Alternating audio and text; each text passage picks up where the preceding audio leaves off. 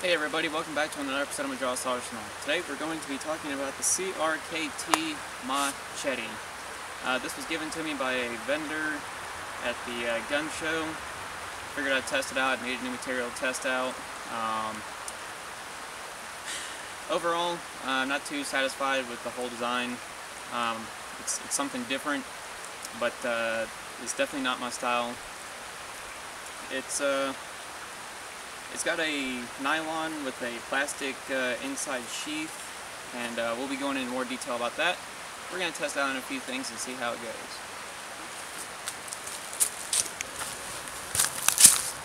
This is uh, straight out of the box. It has not been sharpened.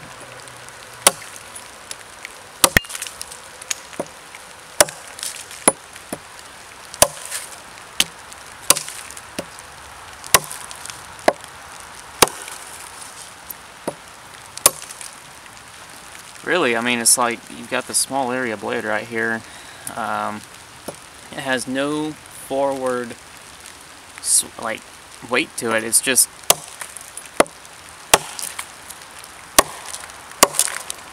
seems like a lot of excess blade that uh, you really don't need for this design because you can't really chop from up here. I mean, if you do, it's you know, you're not doing anything. I guess we could try it down here and see how it goes. Um, just not my style. It's uh, got a good point right there. That's about it. Let's see how it does against the nail.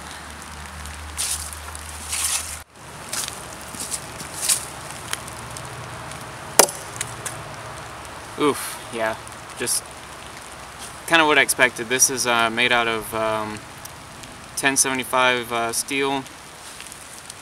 Not very good. That's what I figured would happen. We'll, uh, we'll keep doing it with this. Yeah, I mean, it's just...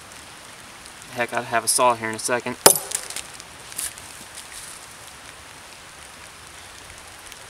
This is why I like traditionally made stuff.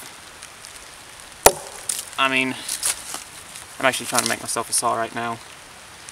Pretty effective.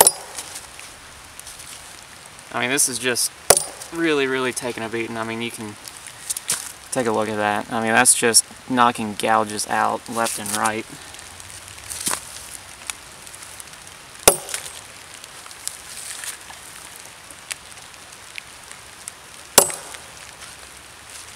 Finally broke it in half, but uh, check that out, guys that's just not not something I would uh, trust my life with, honestly.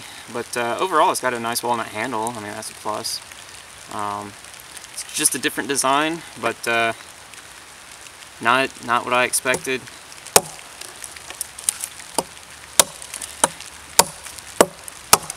I guess if you know, it's got its pluses and minuses. Um, it's kind of lightweight.